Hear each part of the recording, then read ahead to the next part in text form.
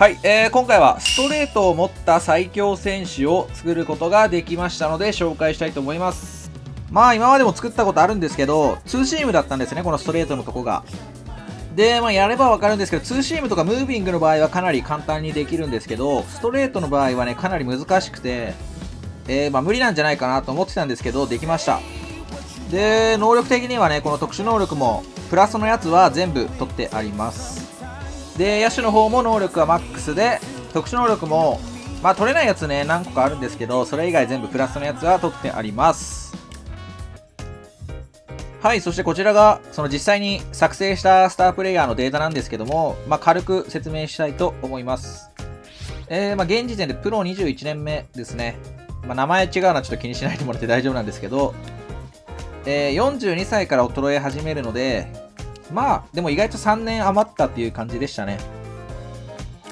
まあ、思ったよりは余裕だったんですけど、成績はね、こちら24勝0敗、防御率0.08。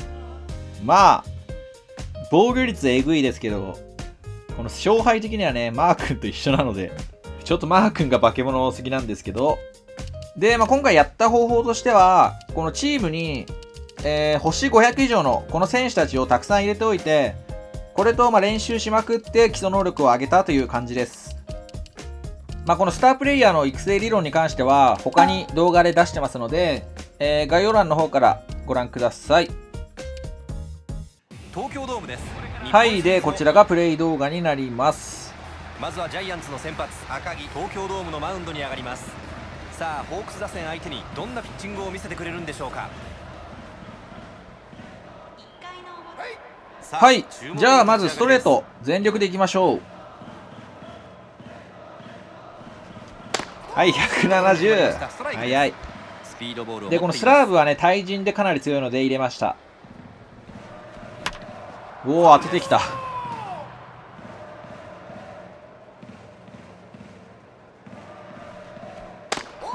ああボールか。あでこのスロースライダーがね個人的にかなり気に入ってますボールになります。これがで超高速シンカーはこれはえぐいです。162キロ。で、まあ、高速スライダー。はい156キロ。高速シュート。これもねかなり球速出ます。168でこの速い球の後はこれはいこの緩急も強いっすね。でとどめはこれですね。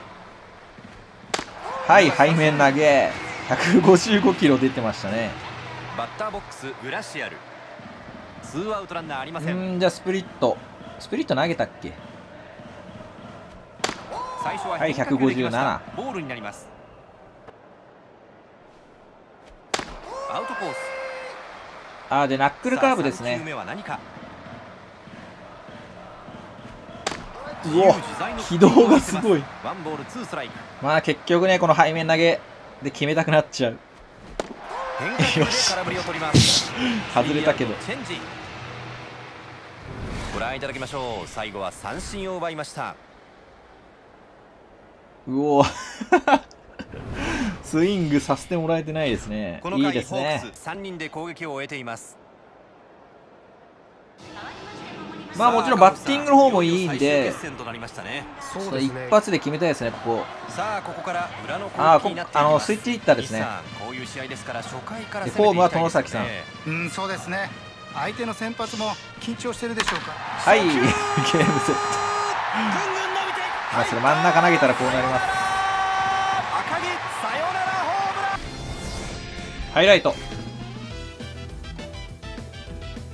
はい、三振。まあ、さっきと同じか。でその裏。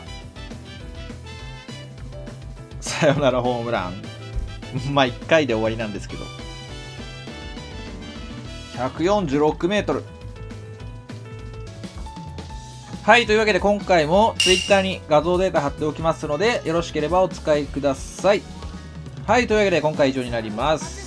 よろしければ高評価とチャンネル登録よろしくお願いします。ご視聴ありがとうございました。